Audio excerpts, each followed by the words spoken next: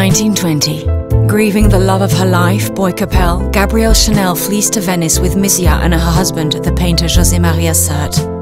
She marvels at a city in which art reigns, in the mystery of the palaces, the silence of the churches, and the secrecy of the museums. This beauty is a shock and a comfort.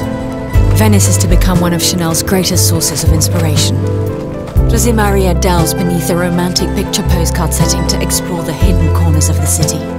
Jojo knew everything, Gabrielle later confides. She learns to differentiate styles and starts painting, discovers the sumptuous colors of Tintoretto.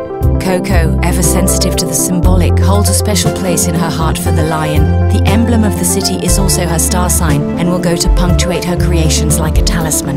Misia, Sert, and Gabrielle make for an eye-catching trio as they glide along the canals, emerging from the shadows of the Murano glass workshops into the sunlit lagoon. The colors are powerful. Gold carpets the cupolas and clings to medals and crosses, inlaid in mosaics and adorning the Byzantine splendors of St. Mark's Basilica. In the company of the Serts, Gabrielle, now at the helm of a flourishing fashion house, discovers a glamorous and eccentric world, the cosmopolitan aristocracy which turned Venice and the Lido into a fashionable resort. Gabrielle, in beach pajamas, a white linen suit, never shorts, or an evening gown, is the guarantor of elegance for this elite society.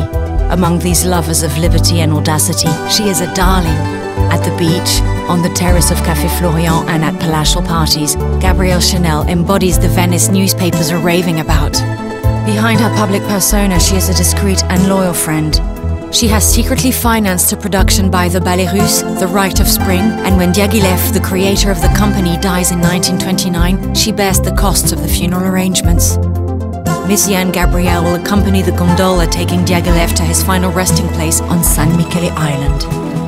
When Chanel is not staying in Venice, she recreates the city in her apartment Rue Cambon, which she fills with lions, baroque and crystal cherubs, polychrome wood and carved wood side tables, to keep the spirit of this labyrinth of art and emotions as guardian of her inspiration.